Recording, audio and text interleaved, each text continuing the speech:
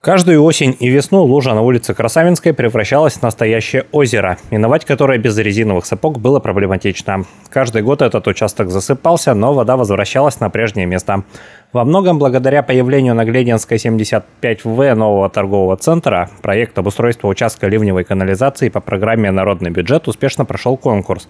В начале месяца началась его реализация. Мероприятие необходимое. Да, все знают, что там эта лужа, она постоянная и вечная. И э, много значит, раз пытались как-то ее ликвидировать, засыпали чем угодно, да, но пока мы не уберем оттуда воду, да, то есть через систему ливневой канализации, вся остальная борьба была безуспешной. Сегодня участок ливневой канализации у нас там отремонтирован, установлен дополнительный колодец.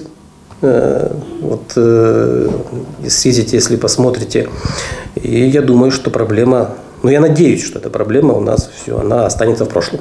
Стоимость проекта по народному бюджету чуть более 100 тысяч рублей. 5% из суммы вложили владельцы торгового центра. Земляные работы проводил водоканал. Из-за загруженности организации к реализации этого проекта приступили только в августе.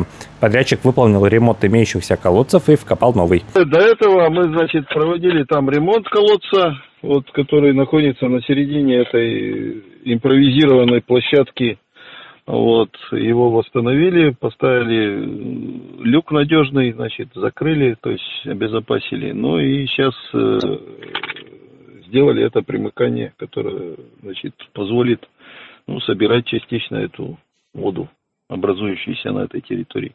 На то, что еще несколько дней назад здесь работала строительная техника, намекает лишь небольшая куча песка и крышка колодца.